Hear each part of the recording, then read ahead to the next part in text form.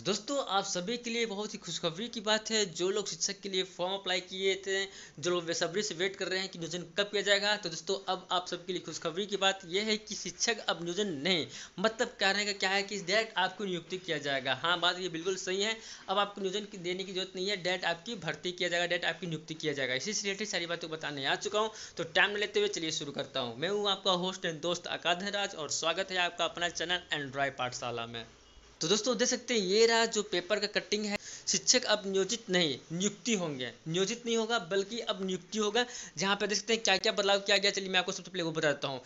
कि पहला बदलाव है कि नियोजित शिक्षकों की नई सेवा शर्त, नियमावली लागू होगी। जो लोग नियोजित शिक्षक हैं, उनके लिए नया नया सेवा शर्त लागू होगा नया नया नियम लागू होगा, जो इसी साल या हो सके अगले साल से आप पे अप्लाई किया जाएगा।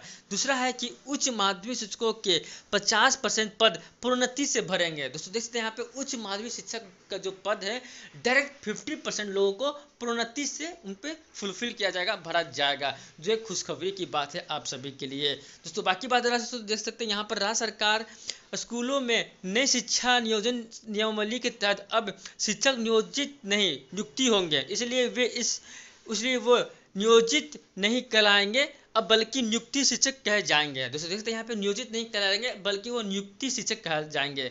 शिक्षा विभाग ने इसकी सूचना जारी कर दी है। इसके साथ ही प्रदेश में नियोजित शिक्षकों की नई सेवा शर्त, नियमावली लागू हो गई। गुरुवार को विभाग द्वारा बिहार नगर निकाय माध्यमिक एवं उच्च माध्यमिक विद्यालय सेवा नियमावली दो हज़ार बीस एवं बिहार जिला परिषद माध्यमिक एवं उच्च माध्यमिक विद्यालय सेवा नियमावली दो हज़ार बीस अधिसूचना होने के साथ ही लागू कर दी गई है। तो दोस्तों, देखते हैं, मैं बताया था कि अगले साल से लागू किया जाएगा। नहीं, बल्कि लागू कर दी गई है, जहाँ पर आपका माध्यमिक और उच्च माध्यमिक विद्यालय के लिए और जितना भी आपका जिला परिषद माध्यमिक और उच्च माध्यमिक विद्यालय उसमें दोनों में आपका लागू है जो नया नया नियमावली वो कर दी गई है। इसी नया नियमावली से अब नियोजित नहीं बल्कि आपकी नियुक्ति किया जाएगा। नियमावली के मुताबिक राज्य के सरकारी प्लस टू स्कूलों में कृषि शिक्षक भी, भी बहाल होंगे। लो अब प्लस टू में कृषि शिक्षक भी बहाल होंगे यानी कि अब नया कुछ इसके लिए 500 600 कुछ और वैकेंसी ऐड किया जाएगा। जो भी वैकेंसी आएगा तो उसमें, क्योंकि प्लस टू में इसके लिए, कृषि के लिए नहीं आते थे टीचर अब से ऐड किया जाएगा। तो दोस्तों देखते हैं नया नया नियमावली के तहत कुछ कुछ प्रॉफिट या कुछ कुछ बेनिफिट दिया जा रहा है।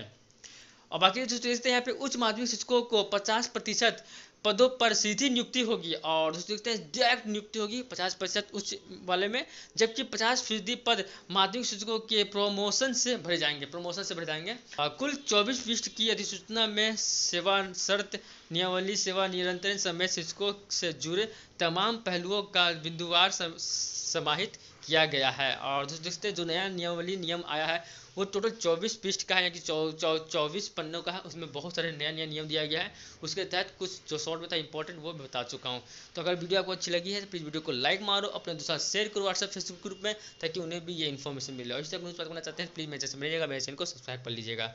वीडियो देखने के लिए धन्यवाद।